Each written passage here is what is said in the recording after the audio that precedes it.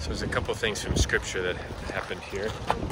This area that I'm standing in, uh, is where St. Paul was held uh, as a prisoner before he was sent to Rome to stand trial. And it's also, if you look at Acts 10, Caesarea Maritima, uh, this is where uh, St. Peter came and he preached. And Cornelius, who was a Roman centurion, considered maybe one of the first converts, uh, you know, in the Acts of the Apostles, and he and all of his family were baptized. That was here at uh, Caesarea uh, Maritima.